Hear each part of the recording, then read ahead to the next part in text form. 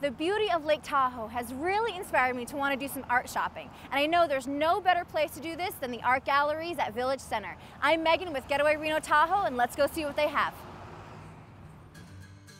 There's such an eclectic mix of paintings and sculptures at Marcus Ashley, like fun abstract pieces by Dr. Seuss to lifelike watercolors by Eric Christensen.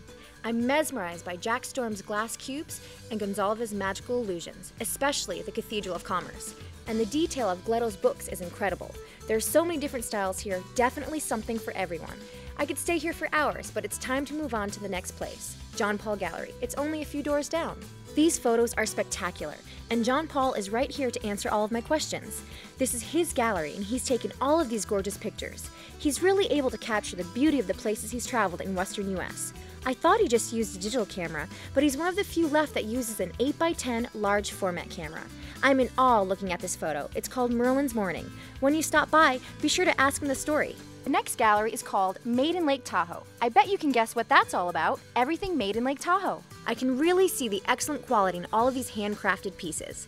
There are so many interesting things here. Ski wine racks and snowboard benches, rope baskets, pottery, hand knit hats, and gloves. The jewelry is fabulous, and it's everywhere. It's all so creative and original.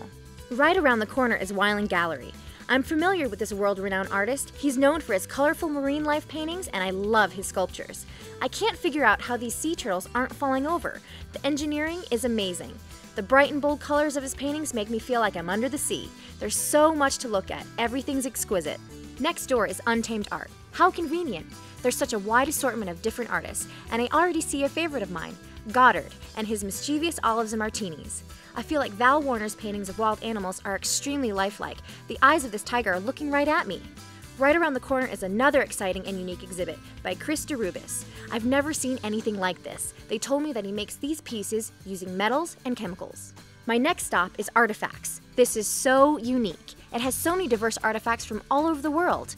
The owners of this gallery actually travel to all of these locations and handpick these pieces themselves. I love these Tibetan singing bowls and the kimonos from Japan. They have everything from trilobite fossils to Italian cameos. The collection of kaleidoscopes is something you definitely need to check out. The final gallery on my list is Sun Art Gallery. Paintings cover every inch of every wall. I want to know who the artists are, and it turns out it's the owners, Connie and David. Each piece is one of a kind original work. Nothing is duplicated. They're great, and they have a studio right in this gallery where they create all of their pieces in eight different mediums. I'm so impressed by David's woodblock prints and Connie's abstract pieces. Thanks, Connie. Bye. I just had a fantastic time checking out all the different galleries here, each special and unique in its own way. This literally is the center for art. If you're looking for something special to bring home with you, make sure you visit the art galleries at Village Center.